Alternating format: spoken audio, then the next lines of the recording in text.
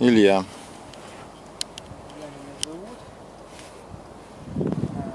Я вот этот провод не уебусь, нет? Нет, тебе нужно немножко проверить, то есть между проводом и нитью Да, да? Да. Давай, братуха. Короче, давай, блин.